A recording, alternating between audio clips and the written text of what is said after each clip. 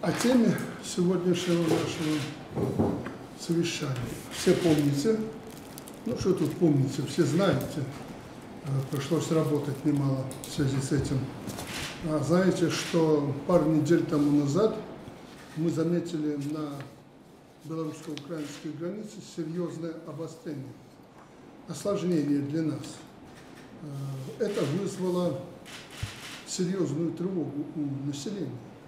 Поэтому я вынужден был после официального приветствия в День независимости Беларуси, э, ну, насколько это возможно было, успокоить население, что никакой войны не будет, мы не допустим эскалации на нашей границе.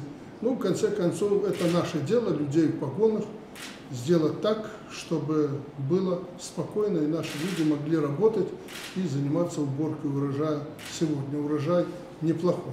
То есть была серьезная тревога нашего населения. Э, в связи с этим было принято решение о выводе отдельных подразделений наших э, на границу, я имею в виду из сил специальных операций, были дополнительно мобилизованы и переведены на усиленную охрану границы наши пограничники, хотя они бедолаги и так э, сейчас э, перегружены, серьезно перегружены, но тем не менее страну надо защищать, по последнему метру земли только пограничник ходит, поэтому была усилена охрана государственных границ э, со стороны пограничных войск, силы специальных операций Денисенко были еще раз мобилизованы, хотя опять же тебе достается тут на этой южной границе через день на ремень, как у нас всегда говорили, и так далее. То есть мы активизировались, и наши войска также были активизированы.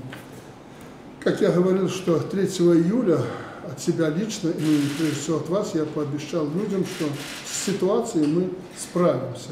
Сегодня мне Комитет госбезопасности, не только сегодня, уже два дня назад, докладывал и военная разведка о том, что после нашей определенной нашей работы э, украинцы свои вооруженные силы и дополнительно войска, которые они перебросили к нашей границе, это было немало тысяч человек, они от границы отвели и вообще вывели из зоны белорусско-украинской границы.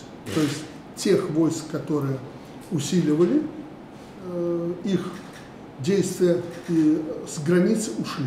Поэтому хотел бы, прежде чем принимать окончательное решение, э, услышать ваше мнение, какова у нас ситуация на белорусско-украинской границе. Это связано с тем, чтобы мы не допустили какой-то даже самой мелкой ошибки.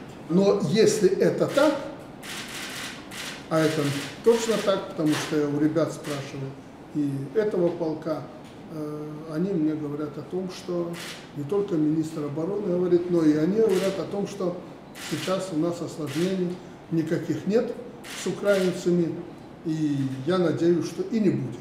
Мы не хотели этого обострения, оно нам абсолютно не нужно, но тем более это не нужно Украине. У них хватает этих проблем. Но на что бы я хотел обратить внимание, как бы они на нас косо не смотрели, как бы они нас не костыляли, ну чуть ли не врагами называя, хотя мы никакие не враги для украинцев, я уже много раз говорил. Это наши люди, такие же люди, как мы, как русские, россияне. Нам надо побыстрее договариваться.